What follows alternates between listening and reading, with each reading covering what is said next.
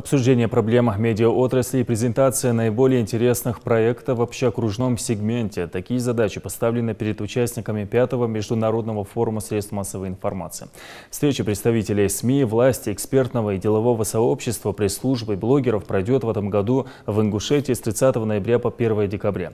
Участие в нем примут более 600 гостей. В списке почетных гостей полномочный представитель президента России в СКФО Олег Белавинцев, министр России по делам Северного Кавказа Лев Кузнецов, Кузнецова, заместитель министра образования и науки страны Сергей Кравцов и главы субъектов. Регистрация на юбилейный форум уже завершена. Планируется, что в нем примут участие 500 журналистов.